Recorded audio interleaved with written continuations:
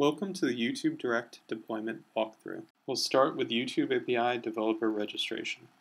If you don't already have a Google account, you could create one. Otherwise, log in with your existing Google account's credentials.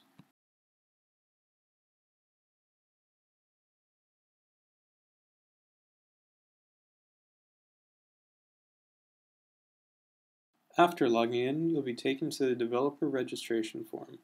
The organization name and country fields are mandatory. The other fields are optional.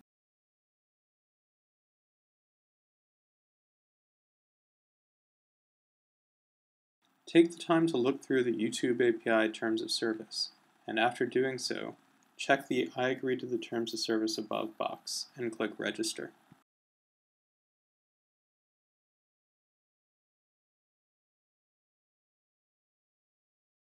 After registering your account, you'll want to register a new product. Enter a name for the product, and optionally the website and description of that product.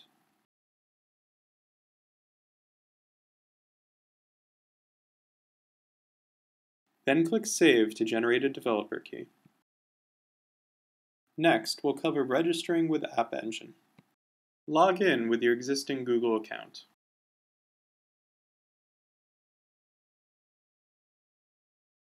If this is your first time using App Engine, you might be asked to verify your account.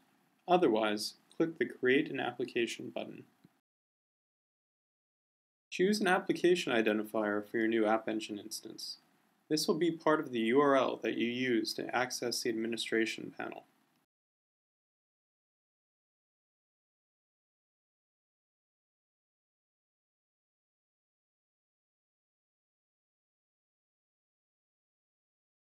Take a look through the App Engine Terms of Service.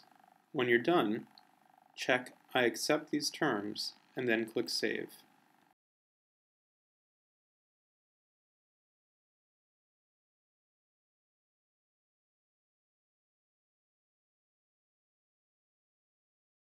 Congratulations, you now have an App Engine instance. The dashboard link will give you more information about your App Engine server. The next step is to download the Eclipse development environment. From the Downloads page, select the Eclipse IDE for Java EE Developers link. Download the file from your local mirror. This may take some time depending upon the speed of your internet connection.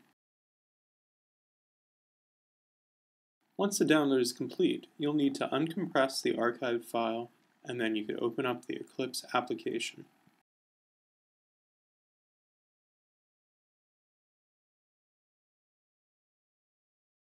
If this is your first time using Eclipse, you might want to visit eclipse.org or use the online help to learn more about the program. Next, we'll walk through installing some Eclipse plugins. From the Help menu, choose Install New Software.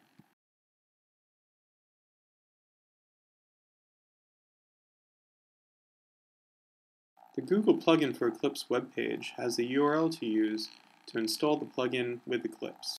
We'll copy this URL to the clipboard. Back in Eclipse, click Add, then enter Google Plugin for the name, and paste in the location of the plugin. You'll see a list of different plugin components, though the version numbers may not match what you see here. Select them all, and then click Next.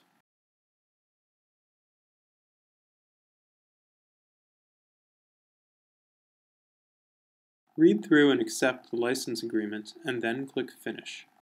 After installation, click Yes to restart your Eclipse environment.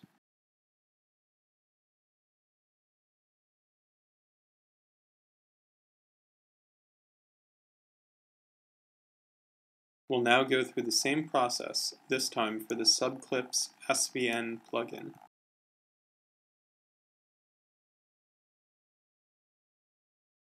Visit the Subclipse website to get the Eclipse Update site URL and copy it to the clipboard.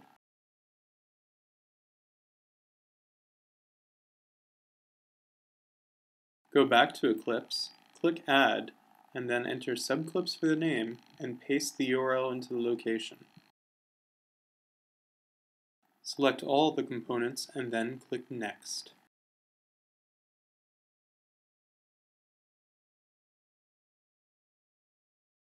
Click Next again. Read the license agreement and indicate your acceptance. Then, click Finish. Next up is SVN Checkout. From Eclipse, go to Window, then Open Perspective, and then Other. Choose SVN Repository Exploring, and then click OK.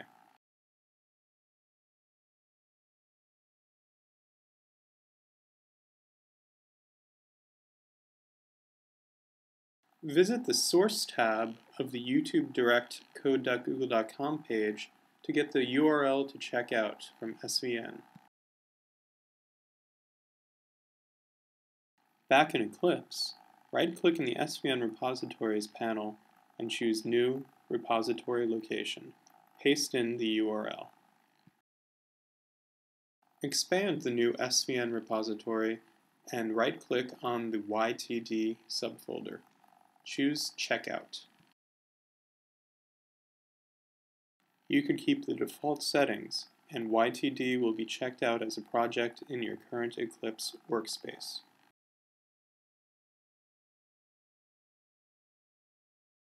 Let's run a local App Engine web server. Switch back into the Java EE perspective. You'll notice that Eclipse says there's a Google App Engine problem. This has to do with a missing configuration file that we'll soon take care of. From the YTD project, find the WAR subfolder and then the webinf subfolder underneath that. Right-click on the App Engine Web Default XML file in this folder and choose Copy. Then, right-click and choose Paste. Name the new file appengine-web.xml.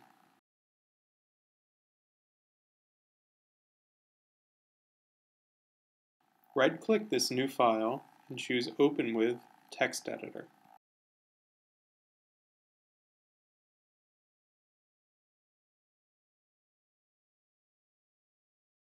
There are several changes we need to make to this file.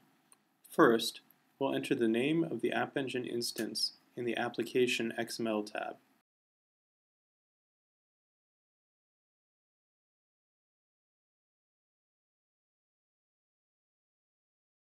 Next, we'll copy our YouTube API developer key and paste it into the documents as well.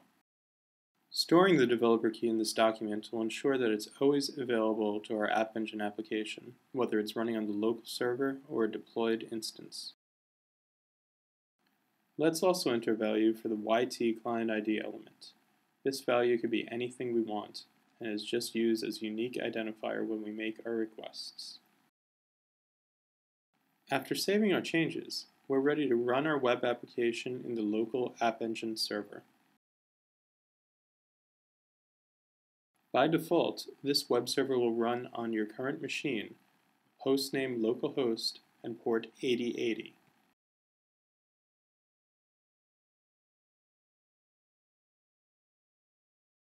If you visit that address from a web browser on the current machine, you'll be able to see the blank index.html file. If you visit slash admin, you'll be able to see the admin panel. There's no user authentication on the development web server, so just log in as an administrator. We'll now cover YouTube account creation. If you don't already have a YouTube account, we're going to walk through the steps in creating one. If you do already have a YouTube account, please make sure that it's linked to the Google account that you use to register your YouTube developer key. The YouTube account will contain playlists that are automatically generated for each assignment you create.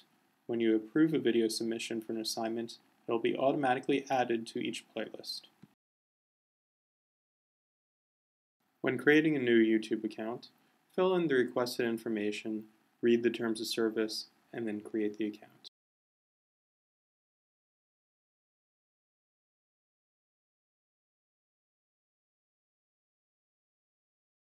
At this point, we'll link our existing Google account to our new YouTube account.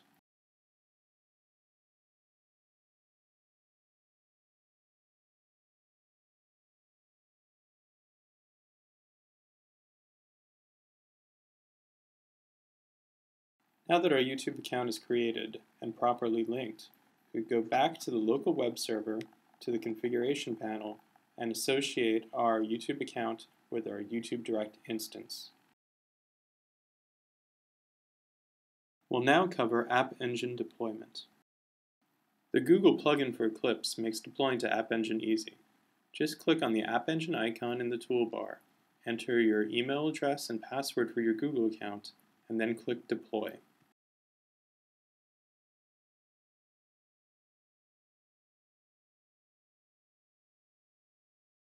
The plugin will take care of packaging all your source code, uploading it to the App Engine servers, and starting up a new Java servlet environment.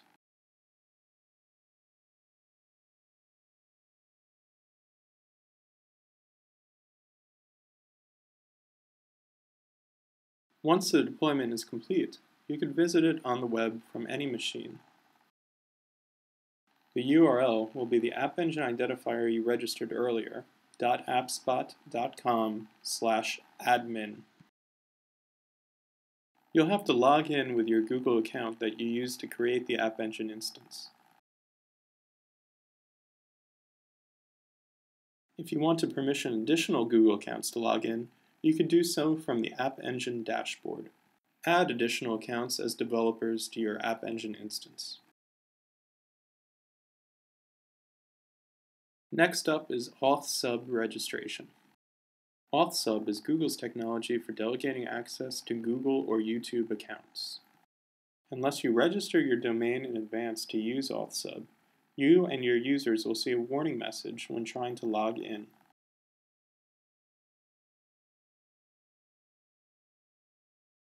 To register, visit www.google.com slash accounts slash manage domains.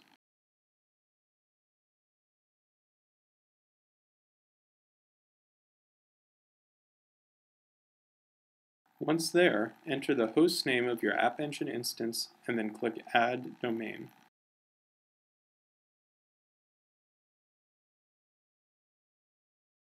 Click on the link that appears at the bottom to be taken to the next step in the registration.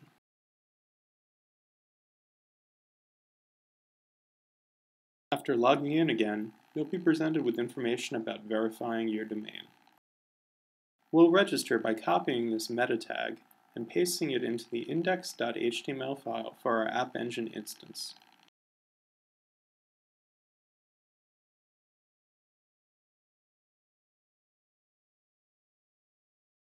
Paste it within the head element of the HTML document.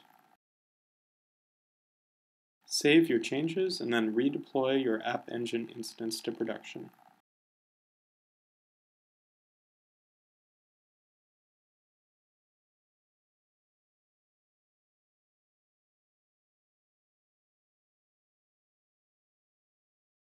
After your code is redeployed, go back to the Verify Ownership page and click on the Verify button. Take a look through the Terms of Service, and when you're done, click on the I agree to the Terms of Service button. On the next page, enter your App Engine website's full URL starting with HTTP in the target URL path prefix field. It's very important that you don't use HTTPS as the URL prefix. Click Save when you're done. If you completed the steps properly, you should be able to go back to your production App Engine instance, go to the Configuration tab, and authenticate. The warning message should be gone, and you could click Allow Access. Let's focus on YouTube Direct configuration. Your YouTube API settings should all be filled in at this point. Video branding settings control what tags and descriptions are shown in videos that are approved by your YouTube Direct instance. Mouse over the question mark for more information about any setting. The moderation submission settings control whether videos need to be explicitly approved by your editors whether you accept new and existing videos or just new videos, and notification emails that you receive for new submissions and that get automatically sent out to submitters when their videos are moderated. You need to make sure that the email address you use is registered as a developer for your App Engine application. Otherwise, App Engine will refuse to send email using that address.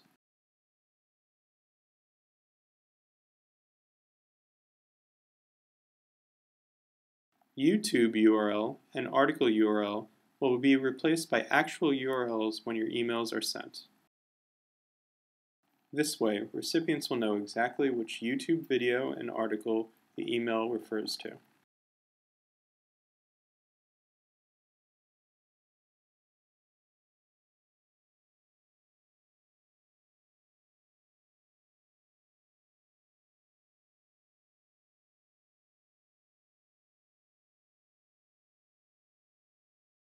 The submission widget settings lets you control the HTML that is displayed before users submit videos and the post-submit thank you message.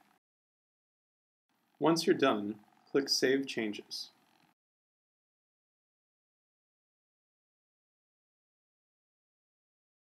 The next step is assignment creation. Go to the Assignments tab and click New Assignment. The categories correspond to YouTube video categories. An active status means that new submissions will be accepted. The description will be used for the YouTube playlist. After clicking Create, you'll see the new assignment show up in the list.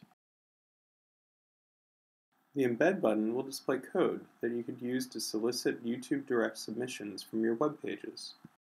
This code is generic, and you might want to end up customizing it to suit your specific purposes. For now, let's copy it and paste it into a new HTML document to illustrate how it can be used. We'll create the new page in Eclipse and end up deploying it along with our production App Engine instance.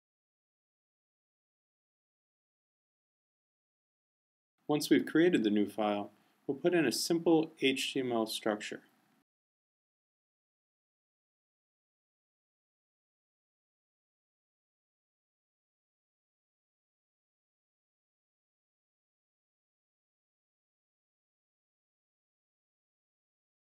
We'll copy the embed code from the admin panel and paste it into the body element of our new page. Once that's done, click on the App Engine button in the toolbar, save changes, and deploy your code to App Engine.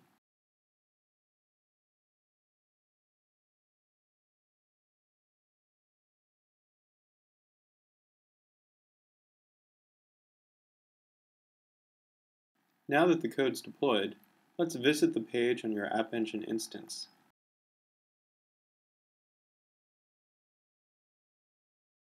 The page will have the default graphics and layout, but you're free to customize the code to suit your needs. Clicking on the Submit Your Response call to action image will load up the submission widget. Under the hood, an iframe is created on your web page that loads content from your App Engine instance. Clicking Login will take the user through the AuthSub authentication flow. When the user clicks Allow Access, this generates an authentication token that YouTube Direct can use to upload videos into their account. Clicking Upload a video will initiate the user upload flow. That brings us to moderating submissions. After receiving a submission, you'll see it appear within the Submissions tab of the admin panel. If you've configured email notifications of new submissions, you'll also see it in your email account. The email will contain a link to the actual YouTube video, the name of the YouTube user, and the assignment ID for which the video is submitted. Back in the Submissions tab of the Admin panel, you can click Details next to a submission to find out more information about the video. Assuming the video has been processed and accepted by YouTube, you can play a video preview here.